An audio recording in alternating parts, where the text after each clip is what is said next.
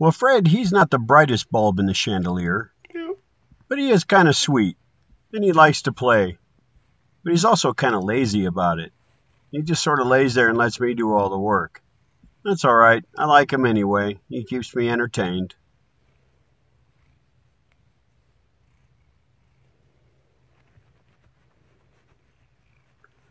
If you're looking for excitement, or maybe waiting for all the Hollywood special effects, don't hold your breath. This is about all Fred does. But really, it's kind of boring around our house, and we don't really like too much excitement, so Fred fits in just right. He uh, he basically is here to keep Buster entertained, because otherwise Buster would drive us all nuts. All right, let's get to work now. All right, guys, let's show you how this thing looks from the top side as it operates. We'll start with automatic mode. Okay, so the record is playing and the wheel is turning. Okay, remember we're on that dead spot on the gear as long as the record is playing. Okay, we're going to hit the reject lever and watch that right there. See that? Now this little arm here is what engages that little that little partial gear. Now, now we're turning, and uh, you see the tone arm moving. These uh, deals here are moving. Actually, these are. These these are not. These are just little rests. Okay. Going through the change cycle, boom. It's gone back to restart the record, okay? Playing again. Let's show you one more time.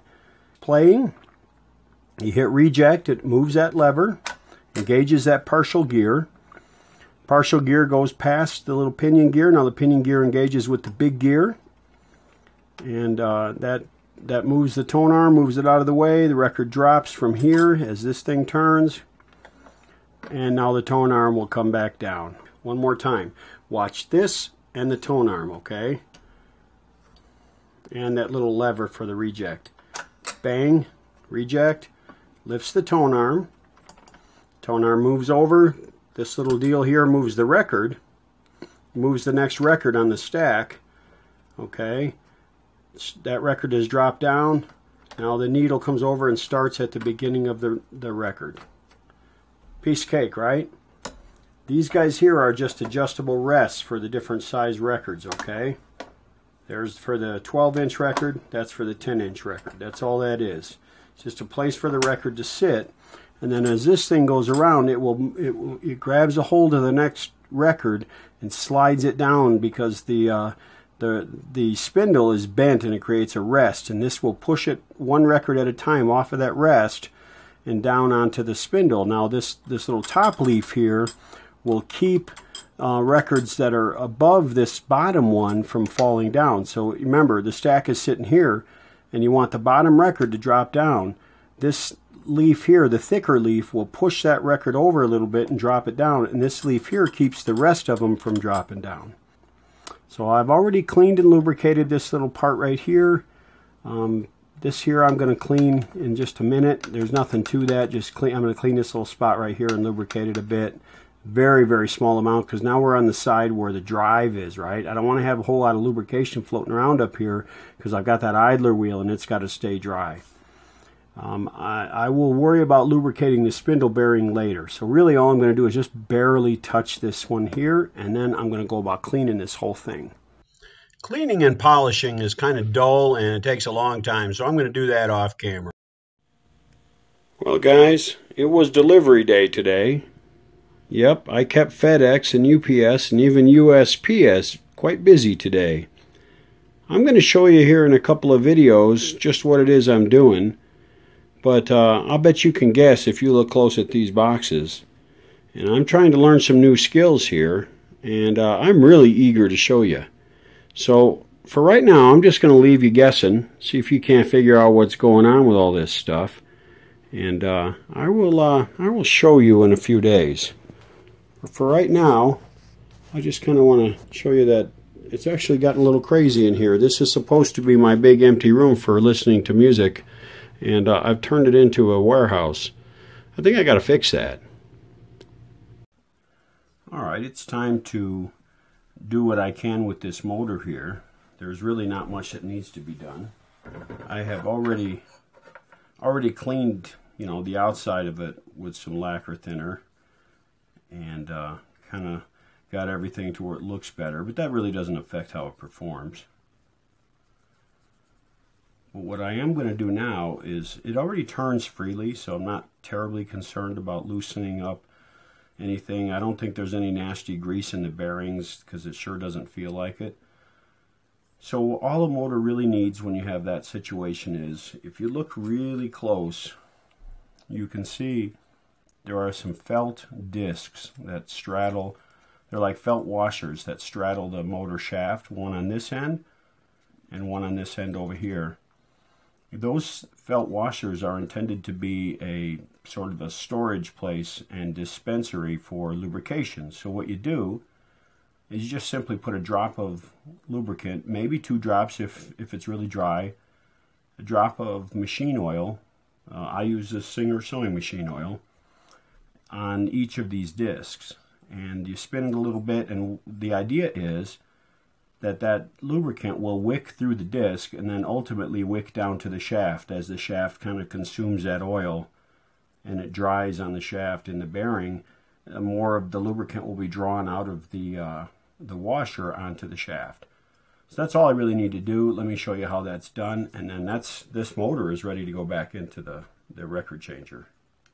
Usually, or a lot of times, I'll see them where people have packed grease down in here and stuff, and that just messes them all up. Okay, so we want to put a drop of oil on the screwdriver like I like I did. I did it off camera, but you get the idea. And you come down here to that and you just touch it. Now you're going to touch other things by accident, so you may have to do it twice. But uh, you know, the, the the whole idea is to get enough lubricant into that washer so that it will wick. You know, it will kind of hold on to it and wick it when it's needed, but don't get it all over everything else. You see how it just soaks into the washer. Let me do it up close. One more drop. It's probably too much, but it won't hurt it. One drop won't hurt it. Okay, so you take this drop of oil and you kind of present it to this disc right here, this felt washer. Just touch it and it'll soak right in. And ultimately it will wick throughout this washer here and then down onto the shaft which will take it down into the bearing. Once you've done that, you just turn it. Nothing to it. I've already done that end over here. And we are good to go. Now what you can do if you want to be sure the motor is going to be fine is you go ahead and test the motor. And I'll probably, I've already run the motor, but I'll, I'll test it again just to be sure. I cut an ordinary line cord off of a, a beat up solid state radio that I was tossing and I attached these test leads to it. So now I have something I can plug in at 120 volts. I plug it into uh, an isolation transformer, all right? And then I have 120 volts available to me at these clips. Well, now here I look at the uh, record changer. The record changer has this plug that plugs into the, the uh, console. So I'm going to go ahead and plug one side of the 120 volt here, one side of the 120 volt here, and it really doesn't matter which side goes to which, it's AC. And I'm just going to lay it down here. Now I've also got it on my Variac. So let me turn on the isolation transformer. There we go. Okay, you go ahead and watch this fan, and I'll, I'll start the motor up.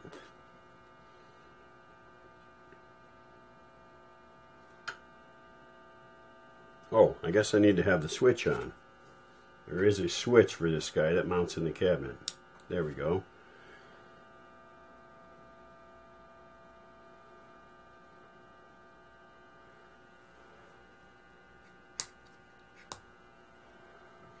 Well, the other side of the coin is I need to plug in my line cord. I'm not having a great morning, guys. I think I need more soda before I get started on this stuff. Alright, now let's try. I don't know if the switch is on or off, so we'll see. Switch is off. Now, if it doesn't work now, I'm just going to throw in the towel and go upstairs and watch TV. There we go. That's at 60 volts. 90 volts, 120 volts. Okay guys, we have ourselves a nice little motor. Nothing's hot, nothing's warm, everything's good. turns freely, I think we're set. The next step is we're going to have to mount this thing into the record changer using some rubber mounts. Okay, it came with these rubber mounts right here. These are not available. I'm not able to find anything like it. I suppose maybe a chassis mount washer might work, but to get this thickness will be difficult because they're big and I'd have to cut it down. What I'd like to do is find something that is intended for a record changer. And I, there are two styles that I have on hand. The two side, the two types of mounting uh, rubber that I have for record changer motors are right here. Neither of these are the right size. This big one here is the right height, but it doesn't, it's too big here that the, uh, the diameter inside the slot is too big to fit into the hole in the record changer. I tried, it won't fit. It drove, it, I just about tore one up trying to get it to fit, so that's not going to work. Not only that, but the little bushing that the record changer mount stud goes through is is too small. I mean, this hole is far too big for the bushing. So this one here really isn't going to work. As tempting as it is because of the height, it's not going to work. My other choice is this little guy right here. As you can see, this little guy is far too short, okay? But it's the right size to fit in the hole. The hole here is roughly the right size. It's a tapered hole, but I can live with that, okay? This one, this one here is not tapered, but I can live with the tapered part. See, the bushing fits in there much better, and if I take a little bit of shrink tubing, just a little slice, okay, and I mount that shrink tubing right in here, make this part of it a little bit thicker, then it'll fit in that taper a lot better, and it'll fit more tightly. But here's the, here's the rub. It's too short, obviously. Okay, this is the part that sits above the surface of the record changer um, mounting plate, and the motor sits hangs from it, but then you have the screws mounting it here. So that um, is really not a critical thing because the way this mounts is the motor comes up from underneath, okay, and then you thread down the hardware. The motor is suspended with this part here providing the flex, but it's suspended from this. And the only dimension that matters in terms of lining everything up is how thick this part here is right there. And that is roughly, no, it's a little thicker, but it's something I can live with. It's roughly the same thickness. So that part's going to be okay. So they both would suspend. And this part here, being a little thinner is not a big deal. Eh, you know, it's still going to be plenty flexible for it. It may not be, if anything, it's not going to be rigid enough. It's This is a little more flexible than this guy, but I think I can make that work. And the, the motor studs are threaded all the way, so I can thread all the way down onto this, and that'll be fine. But, but this little flange, being the same, this is not going to matter. It's they're going to they're going to it's going to the motor is going to be the same distance. The motor shaft is going to be the same distance regardless of which one of these I use, um, in relative to the idler wheel. So I think this one here is the way to go. It's not structurally as as rigid as this guy is here, but I think it's going to work. And I'm looking closely, and the truth is, actually, two of these are in really good shape and are reusable only one of them is hardened and not reusable. So what I think I might do is just use one of these, then I'll use these other two. Since that dimension up here, this, this height really doesn't matter, the rigidity that I get from two of these versus three of these, I think will help me to firm up that motor, and I'll just use just this one of these, and it won't affect it as much. Let's see how that works, okay? Uh, it may sound like convoluted logic to you, and hey, maybe it is we can always take it apart and try it the other way if we need to. So let's get started on mounting this motor up in the record changer base plate. I got to thinking, I thought before I mount this motor, it might be a little, it might be better for me to go ahead and shoot a little deoxidant in the switch now rather than later, and I'll clean this wire up too. Now, I don't need to go crazy with this switch. I just basically need to get it wet down in there where the contacts are, which I'll have to basically go in these cracks here, I think. Get it wet where the contacts are. and then uh, then operate the switch a bit. Maybe I can get this to come apart. Let me try this. Ah, look at that.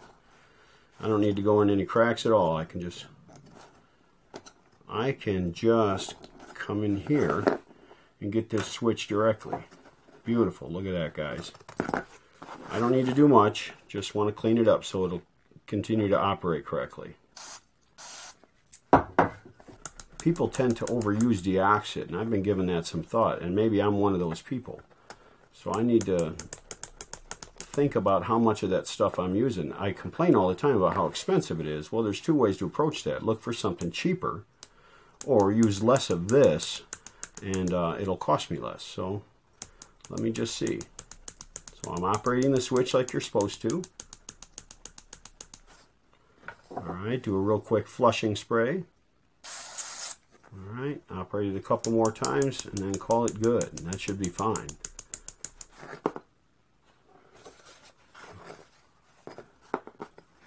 Dry off the excess.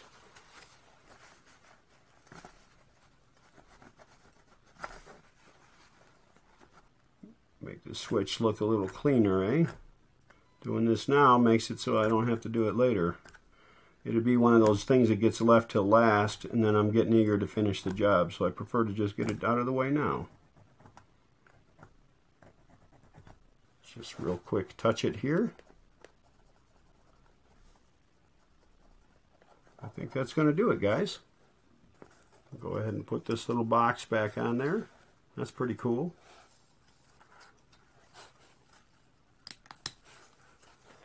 we are good to go. Let me real quick wipe off these wires. I don't, I don't want to do much with them, but I would like to just make them look clean.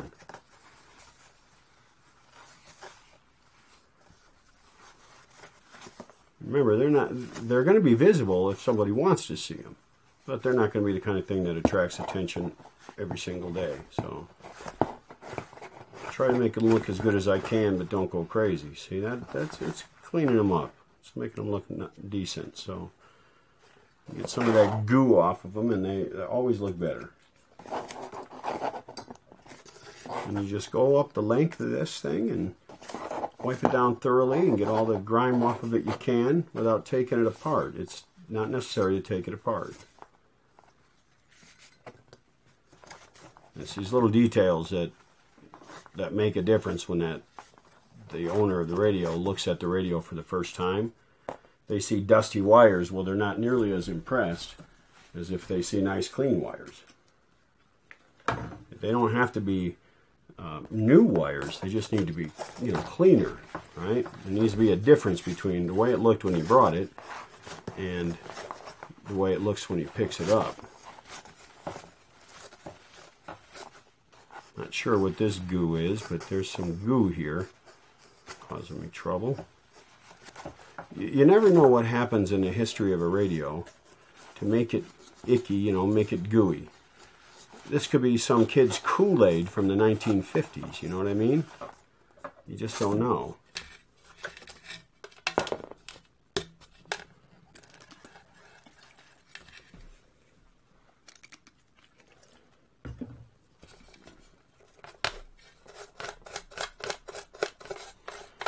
Brief exposure to the lacquer thinner won't hurt this rubber insulation. And uh, I'm not going to, it's not going to be exposed for a long time. I'm just cleaning all the goo off it and then I'll dry it off right away. See the difference? It isn't perfect, but it's a whole lot better. And when the, they see this radio, they're not going to notice that it's not perfect. They're just going to notice the better part and that's cool.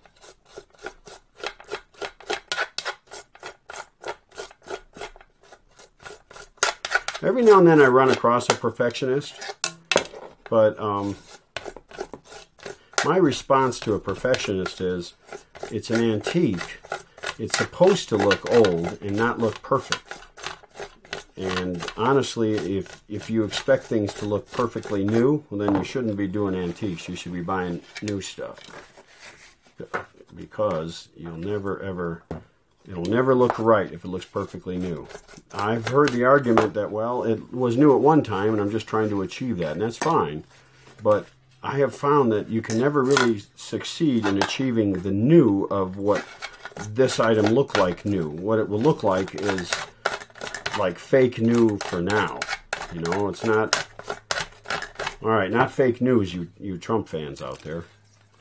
I said fake new, so it'll it'll it won't it'll look new, but it'll look new like, you know, not like it looked when it was when the original part was new. It'll look new like it was just made yesterday, and that's not the same. And I don't I don't really like that. That's why I've really slowed down on restoring cabinets because I haven't yet mastered um, I haven't yet mastered making it look just nicely preserved versus making it look all shiny and brand new. And I don't like the all shiny and brand new. And that's, right now, that's really the only thing I know how to do very well.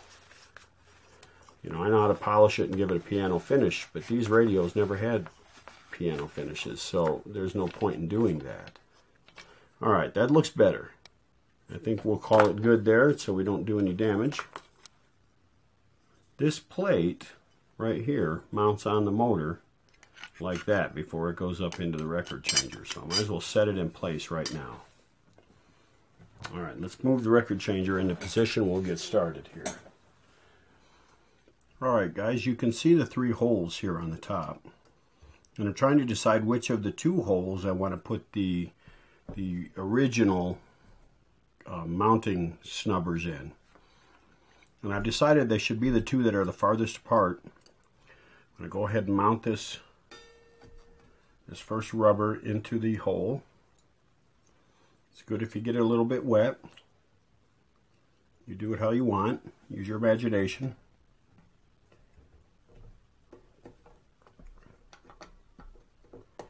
And you mount it with the big part facing up. Okay. Now I usually, since it's wet, I'll usually turn it a little bit, make sure it's all the way in there properly. And that's how I know. Okay. Pardon my hand being in the way. It's tough to do this without getting in the way.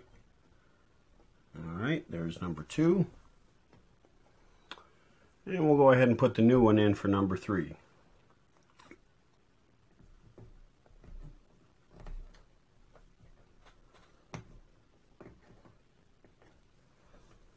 Now last thing I usually will do is make sure by doing this that it's well seated into the slot. Okay, great. Our grommets are in place. Now what we want to do is put the motor in from underneath. So let's tip it a little bit and I hope you can see this in the camera. I don't know. What I'm going to do here is take the motor, really simple, and line the motor up with the holes. Okay, see that? Line the motor up with the holes. And just slip it on in. Oops, wait, forgot something, guys. I forgot that I have some bushings to think about. They have to go into the, the grommet. There we go. Oops, that one wants to fall through. So I'll hold it with my finger from the other side. Okay, now I can go ahead and I got the plate on the motor. All right. I haven't loosened any of the nuts that are on the motor itself, so I don't have to worry about checking that. And just slip it down into those bushings. The one bushing keeps wanting to fall out, so I'll just push it back in from the top side. Now I'm going to hold it with my hand as I turn this over. Okay, now you see the motor coming up through here. Really simple put a flat washer on each one. Now I'm, I'm going to worry about the flat washer on this one here shortly because I'm going to try something. Now for the two that I've put the flat washer on, I'll go ahead and put a lock washer on. Now the way the reason that bushing is there is because this thing is actually suspended on this this little rubber here, but it's it, you the bushing makes it so that there's a gap between the top of the rubber and this washer when you're mounting it. I'll just tighten it hand tight for the moment. I'll tighten everything later. To take up this space here, because I'm not real excited about having that much space there, I want it to be roughly the same amount of space that exists. You see how this, now watch why why I care. This motor drops down onto that. But if this, this gap is too big, then this motor is going to want to pivot away. See, it's going to want to pivot. So what I want to do is put something here to take up that space. It doesn't have to be real soft or rubbery, just something to take up the space. Well, I have had for the longest time um, several boxes of these little plastic washers. I once moved into a house where these boxes were just, there were large, fairly large boxes full of these things, and some brass ones and some aluminum ones too. And they were going to throw them away. So I went ahead and asked if I could have them. I thought I might have a use for them in cars way back then. This is way back around 1997. And um, the, the landlord said, yeah, sure, go ahead, you can have them. The guy used to make, he used to do something with fishing reels. I don't know if he repaired them or he did something. He, he, I, I'm not quite sure. I'm not a fisherman, so I don't know what these would be useful for. But they're useful for me, and here's one way useful for me. I took a couple of these things and I drilled drilled the holes a little larger so they'd fit over that bushing. And they just fit over that bushing, right? And they'll take up that space. Now that gap is going to be roughly the same. I'll go ahead and mount that flat washer on there. And I misplaced the nut, if you can believe it, and the lock washer. So I've got to come up with a new nut here to fit that. But I think that's not going to be a big problem. All right, I found a lock washer and I found a nut. And uh, we'll go ahead and get these tightened down on there. It's a little different outside diameter nut, but it's not going to hurt anything.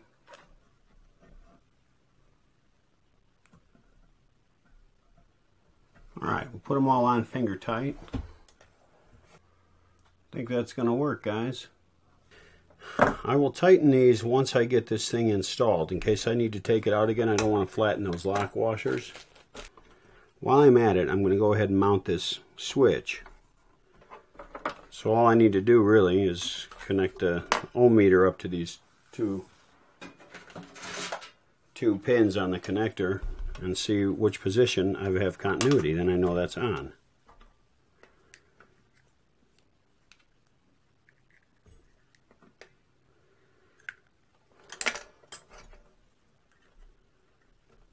I am all thumbs today, guys. Okay.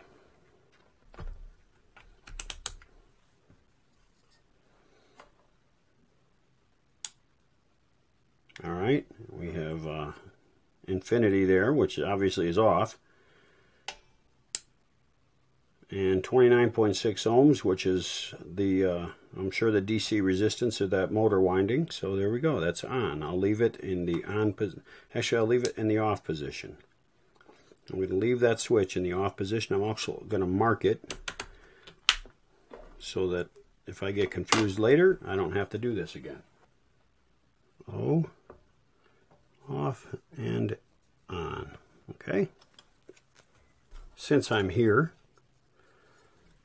I can go ahead and install this guy. that little screw looks awful. So I'm just going to see if I can't clean it up a tad. No big deal.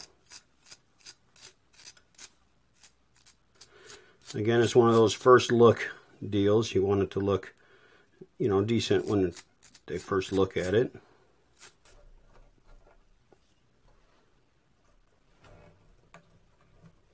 Don't over tighten it. This is a sheet metal screw. It'll strip easily. There we go. Nice and smooth. You'll remember that this cable mounted right here. Again, another sheet metal screw, so take it easy. Just kind of get it started and then slip the cable under it. And then you'll snug it up. Now this motor lead needs to come down here, so do that now. I should have thought of that when I was installing the motor, but I can get it now, I think. One wire at a time. There we go. There we go. Okay, and this this will be out of the way when it's in the records, when it's in the machine, so that's no big deal. Okay, and then go ahead and tighten that down. Again, it's a sheet metal screw. Take it easy. There you go. Motor's installed. Like I said, Fred's not too bright, but he is fun. And he's about as good natured as a golden retriever. In fact, we call him the golden retriever of cats.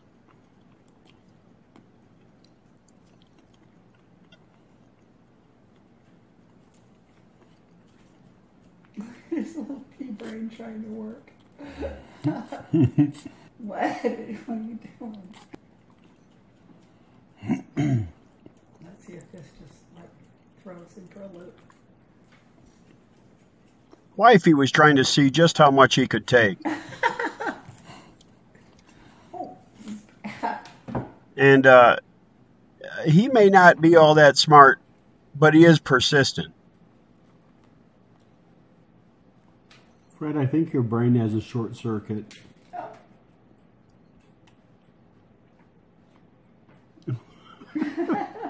He's going to blow a fuse.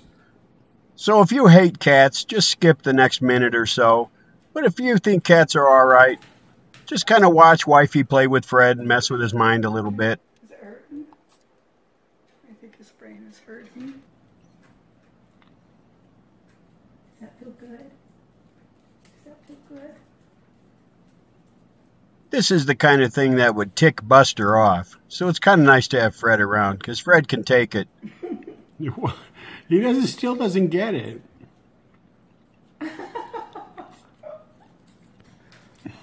You're too weird.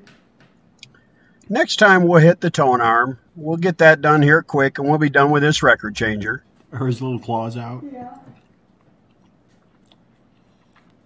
He's going to nail that thing. Look what it's got. I didn't know that it had that. That's it. Fry his little brain. So, from your Western Outpost in Salt Lake City, this is Michael, and that's all for now.